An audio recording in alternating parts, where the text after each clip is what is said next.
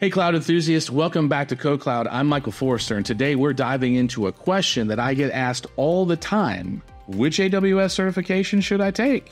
Before we jump in, don't forget to smash that like button and subscribe for more cloud computing content. I want to break this down into four key sections, which I'm probably going to just cover very quickly in mass because I want to make sure that you get the value of knowing which certification should I take depending on role and project. First, we're going to give you a bird's eye view of just the overall certification landscape from foundational to specialty certs. Next, we're going to explore the certification paths that AWS offers. This is whether you're eyeing a role in architecture, development, machine learning, security, there's a path for you. I'm also going to talk about difficulty levels. So, not all certs are created equal. So, we're going to rank the difficulty levels so you know what you're getting into, including some suggested study times. Your mileage may vary. But in general, after passing thousands of people and having all the certifications myself and having passed them multiple times, I have a general idea of what the average student takes in order to pass the exams. And I'm also going to make a comment about career impact because some of the exams are there just to build your confidence, and some of them have significant impacts both in hireability and in revenue. Okay, so let's dive into it.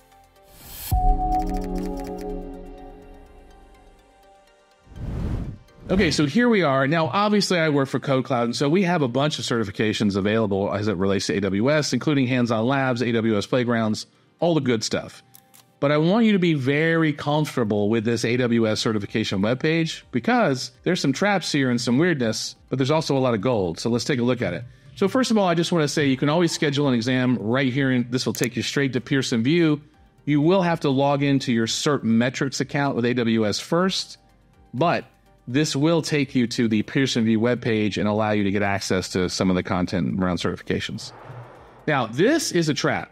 If you click on the browse certifications path, just so we're clear, this is going to take you to a plan your certification journey. And I got to say that while I absolutely revere AWS and any cloud provider, I think they've really changed the world, some of these certification paths are a little complex and unnecessary again, I agree with the inclusion of AI to a large extent. It might be premature.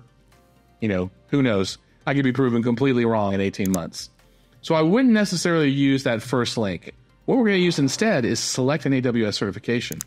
This is going to allow us to see the entire certification landscape at a glance. For example, here we are, and you can see the certifications kind of loosely in relationship to each other. Now, the question that we're trying to answer is which AWS certification should I take? Well, let's come at this from three different perspectives experience, job role, and project. So I want to come at that from three different arenas. First, if you have no experience with AWS, then you're definitely going to take one of the foundational exams. Cloud Practitioner is by far the most popular and is where most everybody starts. It is not technical, 65 questions, multiple choice, multiple response. Great place to start. The AI practitioner exam is actually relatively new. So, this is a beta exam that is actually coming out at the end of August. It's all about understanding the fundamentals of AI. And you can see AWS is making big bets on AI's inclusion in almost every workflow in IT. Now, this is no ex- prior experience needed.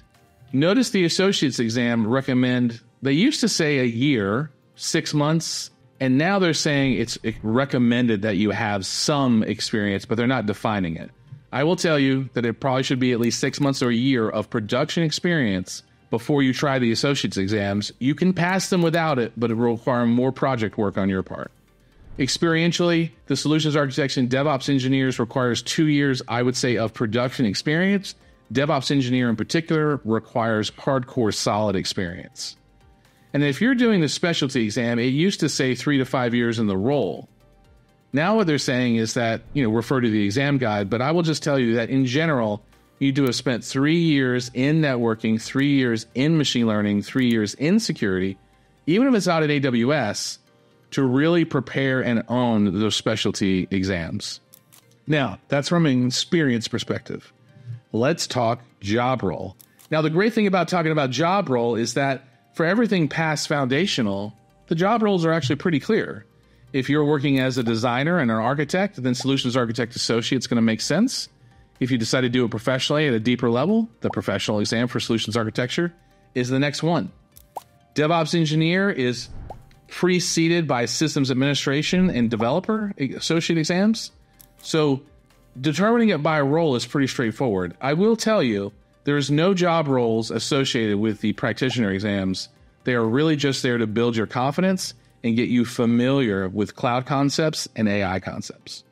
Now, hopefully, then that makes the job role question really clear. If you work in security, you're probably going to get the security exam. If you work in networking, you're going to get advanced networking, so on and so forth. I will tell you that the specialty exams are difficult, which I'll talk about difficulty in just a moment.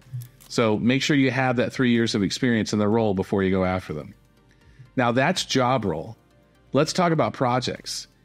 If you're working, for example, in security, but you're a DevOps engineer, you might go for the DevOps engineer professional and then you might grab the security specialty. Because between the two, it's going to really enhance the sec and DevSecOps and allow you to master security on AWS at a deeper level just by virtue of studying for the exam. Let's say that you are doing machine learning, but you're also doing a lot of data preparation. You might look at the data engineer associates and the machine learning associates before you go to the machine learning specialty just to make sure that you've got that feature engineering and data lakehouse and all the stuff related to data as well as the machine learning pieces. So project as an aspect of choosing your certification just depends on what kind of technologies you're using in cloud in your project. So, three aspects here, right? One, what's your years of experience? Obviously, foundational is the easiest. Two, what's your job role? That should be pretty intuitive based on the labels here. And three, are there technologies in your project that might also have you adding additional certifications to study for those and between those three, that should answer the question which AWS certification should I take? Now, one last statement about difficulty. The DevOps Engineering Professional Exam has the largest body of content, even though it's still, a, I believe it's a 75 question exam. That doesn't make it more difficult than, say, machine learning or security, which are also broad, but machine learning is also deep. So just know that DevOps Engineer, along with the three specialty exams, are probably some of the toughest exams just from depth and breadth of knowledge. Now, what about study times? On average, even if you take a course with AWS, you can typically expect to spend about 20 hours at the foundational level over and above a course, 40 hours above a course at the associate's level, about 60 to 80 hours, sometimes more, for the professional and specialty exams.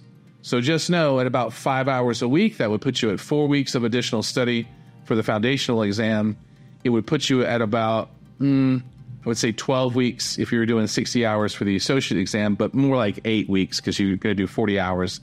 And then you're looking at 12 weeks or more for the professional specialties exam, assuming that assuming that you're studying five hours a, a week. So hopefully that's a lot of clarity from a experience standpoint, a job role standpoint, and a project and technical skills standpoint about which certifications you want to go after. So I was here answering the question about which AWS certifications to take. If you have any comments or you want to see some specific content, hit that like, hit subscribe, leave some comments down below, and we'll follow up with you. And hopefully that demystified the world of AWS certifications for you. We'll see you on the next video.